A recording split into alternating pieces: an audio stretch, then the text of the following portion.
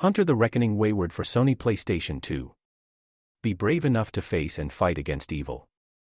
Take the role of one of the hunters. Use your supernatural abilities and undeniably strong fighting styles to destroy evil. Use and collect various weapons such as a flamethrower, grenade launcher, assault rifle, chain gun, and magic, also known as edges, to attack or defend against the monsters while exploring gothic environments. Accomplish various objectives in missions, such as rescuing innocents and fighting aggressive ghoulish monsters.